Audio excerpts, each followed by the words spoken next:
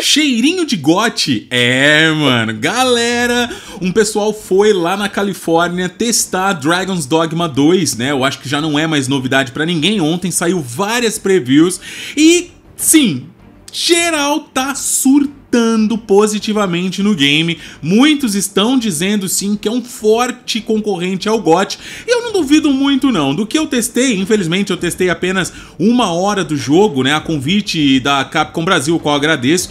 E posso dizer para vocês que sim, o jogo é maravilhoso. Só que os caras tiveram um acesso maior, testando outras vocações. E nesse vídeo eu quero comentar em resumo quais são as novidades, o que a galera tem achado de interessante, o que é preocupante e se até o momento tá mais para positivo ou para negativo. Se você não me conhece, eu sou o Kalil, você está no Gamer Liu Games e olha, já faz um tempo que a gente não faz vídeo nesse formato aqui, é mais editado, né? Geralmente eu tô aparecendo, tal, tô gostando de fazer vídeos opinativos assim, espontâneos, né, onde eu ligo a câmera e começo a falar, mas hoje resolvi voltar pro formato antigo só para dar uma variada. Dá uma olhada, veja o conteúdo do canal. Nós estamos fazendo uma cobertura enorme de Dragon's Dogma 2 e se você ainda não conhece essa cobertura, se você não tá a par das novidades, dê uma olhada aqui no comentário fixado que eu deixo um link especial da nossa playlist para você, junto também da nossa preview, né, que nós fizemos aí junto da Capcom Brasil no ano passado. Bora lá? Só vamos!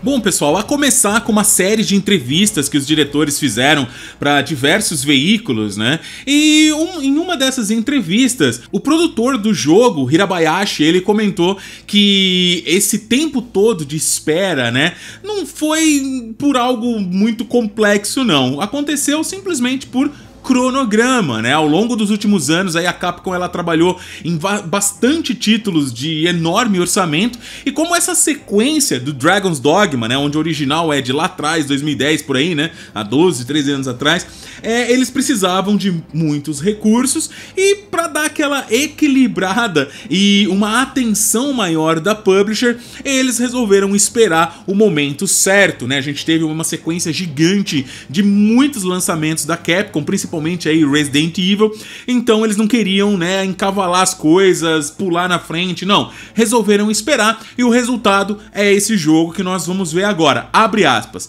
É simplesmente o caso de uma empresa com muitas séries grandes em andamento ao mesmo tempo, embora nós, é claro, amemos Dragon's Dogma e Itsuno-san tenha comentado que adoraria voltar imediatamente a isso, havia muitos projetos agendados e ele teve que focar sua atenção em outros jogos por um tempo tempo antes de poder voltar para a franquia. Então é isso, é por conta disso que Dragon's Dogma acabou, né, demorando aí 12 anos para ser produzido. Abre aspas. Não é também apenas uma questão de cronograma. Esses jogos, especialmente jogos com estilo de mundo aberto, exigem uma enorme quantidade de recursos, mão de obra e tempo de desenvolvimento, planejamento também para serem implementados. Portanto, as estrelas realmente tiveram que se alinhar para que o diretor, uma equipe grande o suficiente também e os recursos estivessem disponíveis no momento certo para que ele voltasse. Outra questão que inicialmente né, trouxe bastante preocupação e eu até né, me expressei em relação a isso em vídeos anteriores foi aquela questão de ter apenas um único ficheiro, né, um único save durante o jogo inteiro. E é verdade, tá? A galera que testou pôde comprovar isso aí. E inclusive fizeram entrevistas com o Hideaki Tsuno no qual ele comentou e revelou que essa decisão de limitar os saves né, de gravação, ela foi deliberada, ou seja, era isso mesmo que eles queriam, foi discutida, foi debatida e decidiram isso. Ele comentou que o jogo ele oferece algumas opções alternativas para a galera que estiver jogando, como por exemplo aí a possibilidade né, de carregar o jogo a partir de uma última estalagem onde a galera descansou. Tipo, isso meio que garante né, aos jogadores que não tenham que é, como é que eu vou dizer? Bom, meio que garante que se você, se acontecer alguma coisa, né, você não vai voltar exatamente daquele ponto ali, caso você não queira, né? Tem como você voltar da última estalagem. Então, exemplo, digamos que eu tô, pelo menos é como eu penso, né, que vai ser eu tô ali jogando tal, encontro um bagulho muito louco do nada e eu falo, putz, mano, eu queria gravar isso aqui, mas agora eu já encontrei o negócio e agora? Simples, se realmente funcionar desse jeito, eu vou poder voltar o meu, o meu carregamento, né, da última estalagem que eu descansei para seguir aquele caminho de novo agora gravando, meio que salvou o meu trampo, tá ligado? Eu acho que ajuda muito também quem estiver jogando. A única coisa que eu continuo achando que não é legal esse lance de um único save é a questão de que espero que não aconteça, né? Mas é, a galera já comentou que aconteceu no primeiro game. Se acontecer de novo, vai ser uma merda.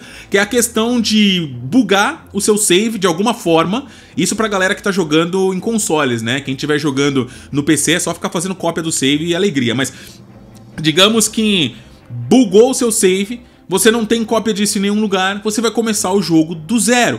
Infelizmente, muitos games, né, hoje em dia, vêm com problemas que a gente não sabe, né? E a gente viu casos recentes de jogos de pessoas, né, que perderam aí saves com 70, 120, 300 horas e aí teve que começar do zero porque a empresa responsável não conseguiu é, trazer de volta né, os dados. Então, assim, esse é um problema. Eu espero que não aconteça nesse game, né? Algumas pessoas comentaram uma vez que a gente falou sobre isso, comentaram que aconteceram com eles no primeiro jogo, isso foi frustrante e tal. Então eu espero que realmente isso seja é, corrigido definitivamente nessa versão, esteja tudo ok, né?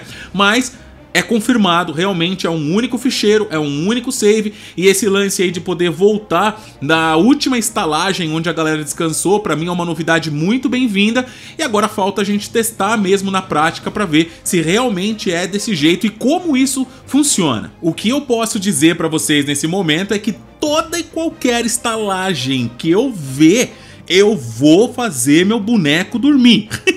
e aconselho vocês fazer a mesma coisa, tá? Sobre a questão de frame rate, né, os FPS, nós já fizemos um vídeo dedicado a esse assunto, mas vale a pena caso você não tenha visto, caso você não tenha, né, acompanhado aqui, basicamente o jogo ele realmente não tem um modo gráfico, tá? Assim como outros jogos da empresa e jogos atuais mesmo de outras empresas como Final Fantasy Rebirth, onde você pode escolher jogar entre o modo fidelidade, modo é, desempenho, né?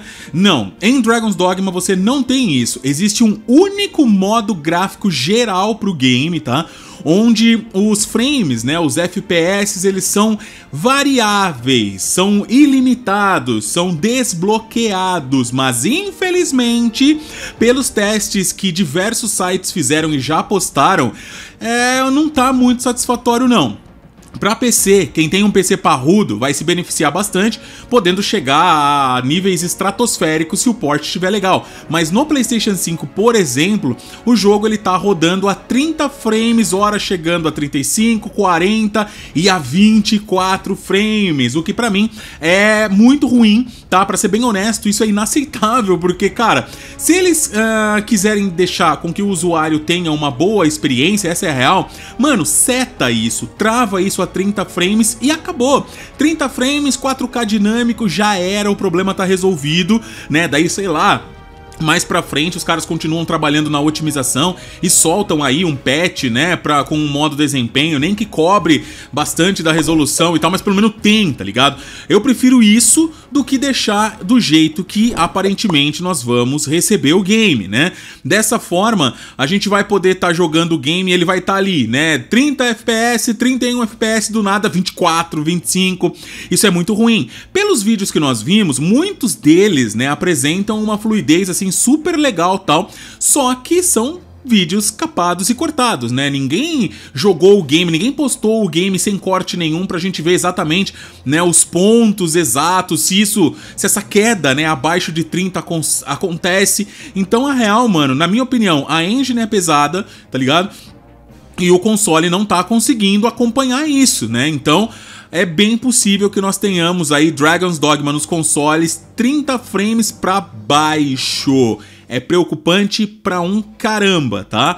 Eu aconselho você a aguardar uma demonstração do jogo para testar e ver como é que vai ser o desempenho disso na prática, esperar análises finais do game, né, que provavelmente vão sair um ou dois dias antes do lançamento, mas a verdade é essa, tá? Não existe mesmo uh, um modo gráfico, é um só e ainda assim não está satisfatório como deveria. Fora essas questões, o jogo foi elogiado demais, principalmente por se parecer muito, né, com o primeiro game, aos olhos, né, de da Game Informer, por exemplo, IGN, a galera que testou.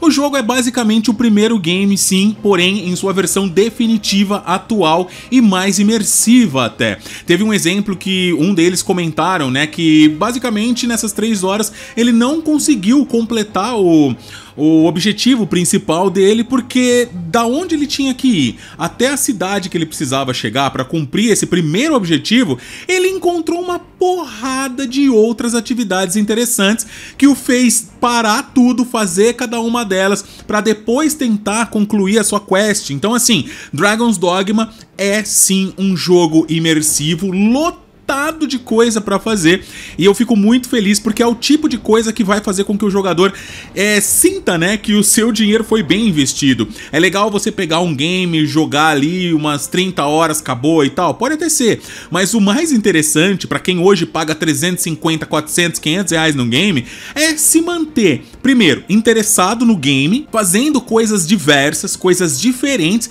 e por um tempo considerável, né? Então eu acredito que nesses quesitos Dragon's Dogma definitivamente vai sim cumprir o seu papel, né? Eu me lembro que quando eu joguei o ano passado uma horinha dele, foi meio que a mesma coisa. Eu entrei numa cidade e eu me deparei com um monte de gente, né, falando sobre situações, me dando quests secundárias. Quando eu saía explorar no mapa, o meu peão, né, ele sempre me indicava um lugar diferente para ir daquele que eu tava indo, e eu ia lá por curiosidade e acabava encontrando algo completamente diferente do qual eu não esperava. Então sim, é esse tipo tipo de jogo. E para quem tá, né, animado para se internar, para hibernar em um jogo por vários meses, eu acho que vai ser a pegada aqui, né? A organicidade com que as coisas vão acontecendo no mapa também foi muito elogiado, né? E isso é algo que eu defendo muito desde Red Dead Redemption 2, que foi o primeiro jogo que eu joguei em que as coisas iam acontecendo de maneira que eu não previa e aquilo parecia um mundo real. Se realmente Dragon's Dogma tiver próximo disso, pô, ponto positivo e eu fico muito feliz com isso. Teve uma situação em que eles comentaram que, cara, se a gente demorar muito para ajudar uma pessoa, essa pessoa pode morrer e a missão falha, tá ligado? E tipo, dá para voltar? Não, não dá para voltar.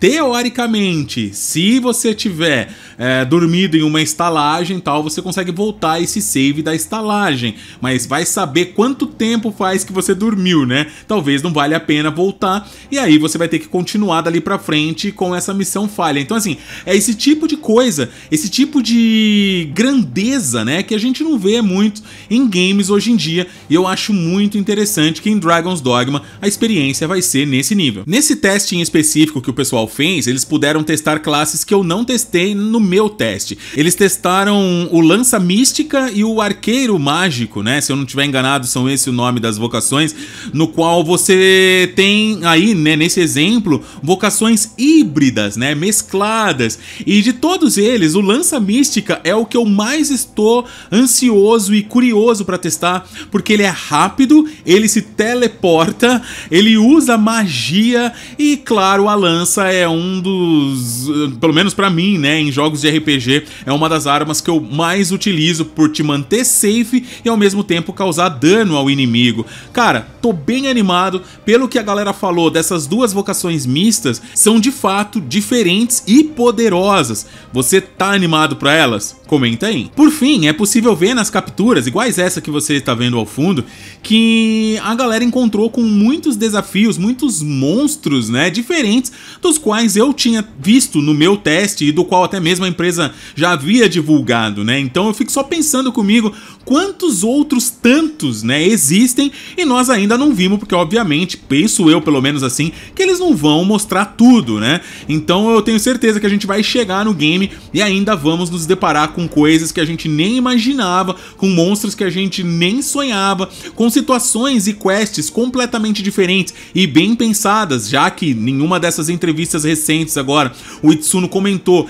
que eles se esforçaram muito em colocar muita, muita, muita coisa aleatória dentro do mapa para que realmente o jogador possa fazer, né?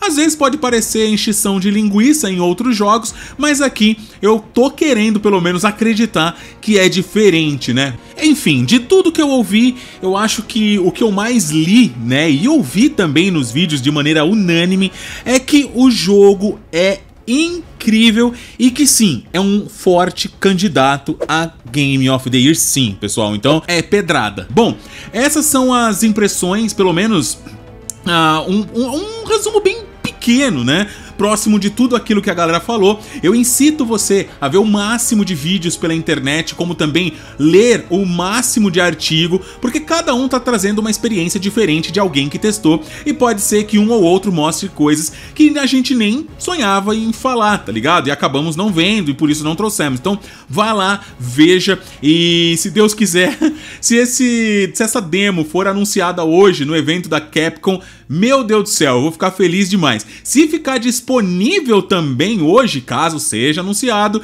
mano, vocês podem esperar a gente virar aí a madrugada jogando hoje, tá? Enfim, é isso aí, vamos torcer. Beijo no coração. À noite vejo todos vocês aqui durante a transmissão que começa às 20 horas. 20 horas não, vou começar mais cedo, lá pelas 19, 19h30, você cola aqui e bora bater esse papo ao vivo, tá bom? Beijo no coração, é nóis, valeu!